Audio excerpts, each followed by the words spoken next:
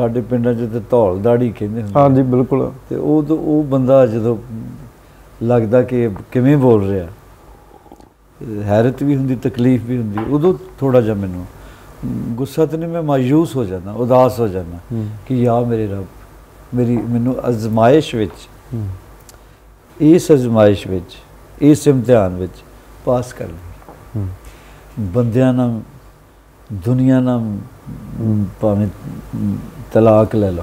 ਹੂੰ। ਲੇਕਿਨ ਮਾਲਕ ਤਾਂ ਖੁਸ਼ ਹੁੰਦਾ ਨਾ।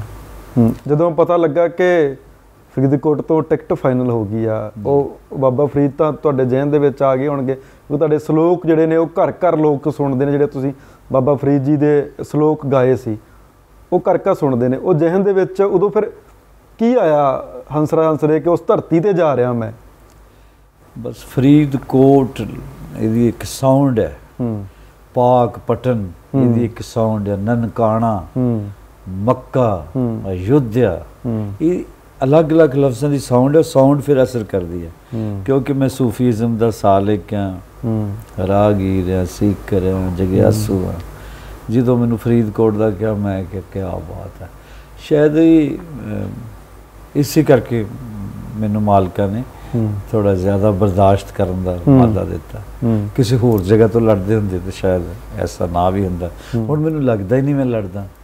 ਮੈਨੂੰ ਲੱਗਦਾ ਕਿ ਕੋਈ ਡੈਸਟਨੀ ਕਹਿ ਲੋ ਤਕਦੀਰ ਕਹਿ ਲੋ ਲੈ ਕੇ ਆ ਗਈ ਇੱਕ ਚੰਗੇ ਸ਼ਹਿਰ। ਇੱਥੇ ਜੋ ਖੱਟਣ ਵਾਲਾ ਉਹ ਖੱਟ ਲਾ। ਹੂੰ।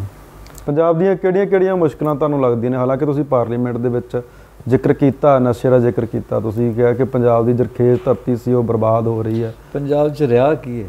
ਹਾਂ। ਸਵਾ ਆਕੜ ਤੋਂ ਹਉਮੈ ਤੋਂ ਜਿਹੜੀਆਂ ਕੌਮਾਂ ਸੈਲਫ ਪ੍ਰੇਜ਼ ਕਰਨ। ਖੁਦ ਪਸੰਦ ਹੋਣ ਸੈਲਫ ਸੈਂਟਰਡ ਹੋਣ ਉਹ ਫਿਰ ਉਹਨਾਂ ਦਾ ਨਾ ਜਿਹੜਾ ਤਰੱਕੀ ਉਹ ਰੁਕ ਜਾਂਦੀ ਹੈ। ਜਿਹੜੇ ਬੰਦੇ ਇੱਥੋਂ ਚਲੇ ਗਏ ਸਾਡੇ ਵੀਰ ਪਿਆਰੇ ਬਾਹਰ ਐਨ ਆਰ ਆਈਜ਼ ਉਹਨਾਂ ਨੇ ਫੱਟੇ ਚੱਕ ਕੇ ਬਾਦਸ਼ਾਹੀਆਂ ਉਹਨਾਂ ਦੀ ਤੇ ਜਿਹੜੇ ਇੱਥੇ ਫਸੇ ਹੋਏ ਇੱਥੇ ਬੋਲੀ ਜਾਂਦੇ ਆ ਲੜੀ ਜਾਂਦੇ ਆ ਖਪੀ ਜਾਂਦੇ ਆ। ਆਪਣੀ ਤਵਾਰੀਖ ਤੇ ਨਾਜ਼ ਉਹ ਕਰ ਸਕਦਾ ਜਿਹੜਾ ਖੁਦ ਤਵਾਰੀਖ ਦਾ ਹਿੱਸਾ ਬਣੇ। ਹੂੰ। ਤੁਹਾਡੇ ਬਜ਼ੁਰਗ ਕਿੰਨੇ ਕੁ ਬਹਾਦਰ ਸੀ ਲੇਕਿਨ ਉਹ ਧਰਮੀ ਲੋਕ ਵੀ ਤਾਂ ਸਨ।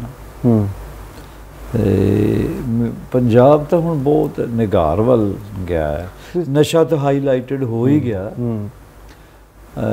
ਬੇਰੁਜ਼ਗਾਰੀ ਹੂੰ। ਕੋਈ ਬੱਚਾ ਜਦੋਂ ਜਵਾਨ ਹੁੰਦਾ ਇੱਥੇ ਰਹਿਣਾ ਹੀ ਪਸੰਦ ਨਹੀਂ ਕਰਦਾ। ਹੂੰ। ਕੋਈ ਇਨਵੈਸਟਰ ਨਹੀਂ ਆ ਰਿਹਾ। ਹੂੰ। ਲਾਅ ਐਂਡ ਆਰਡਰ ਦੀ ਹਾਲਤ ਦੇਖ ਲਓ। ਹੂੰ। ਬੜੀ ਤਕਲੀਫ ਹੋਈ। ਗੱਲ ਸੱਚੀ ਹੋਣੀ ਹੈ ਕਹਿੰਦੇ ਉਹ ਕੋਈ ਕਿਸੇ ਨੇ ਕਿਸੇ ਦਾ ਪਰਸ ਜਿਹਾ ਖੋਇਆ ਹੂੰ। ਤੇ ਖੋ ਕੇ ਭੱਜ ਗਿਆ। ਸਨੈਚਰ ਜੋ। ਹੁੰਦੇ ਸਨੈਚਿੰਗ ਕੀਤੀ।